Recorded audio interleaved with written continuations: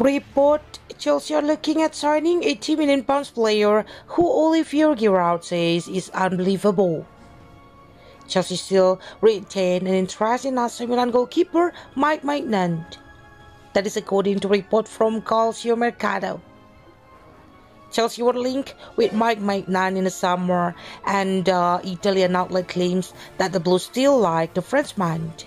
The Evening Standard reported back in June that Chelsea had explored signing Maignan but were put off by Milan's 80 million pounds price tag. In the end, the club went on to sign Robert Sanchez from Brighton and Albion. Mike Maignan should not be a priority right now.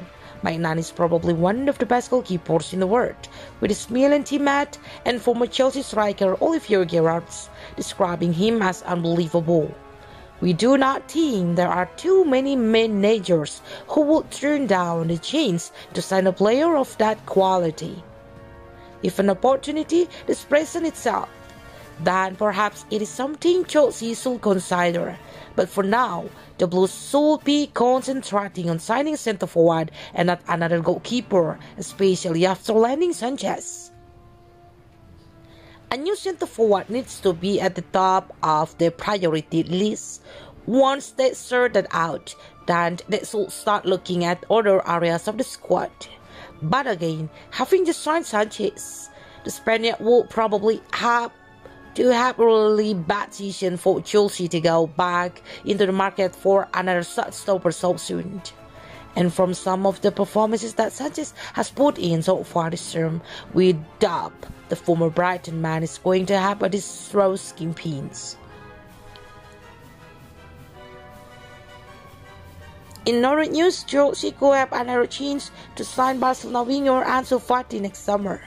Ansu Fati is currently on loan at Brighton and Hove Albion, but was linked with the move to Chelsea in the last transfer window.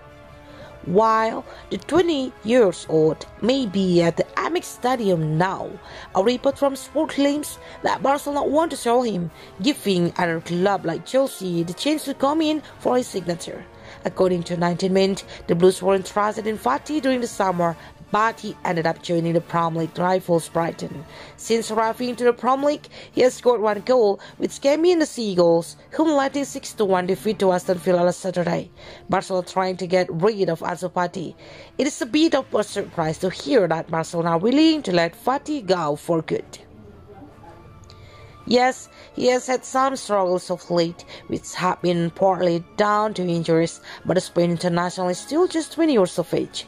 Fati has plenty of time to get back on track again. He is a quality taker, with even Ragstick hailing him as an incredible talent. The white man does not seem to be incredible enough for Barcelona to keep hold of him out. There was scope Chelsea, Brighton, or another side skiing next summer, however.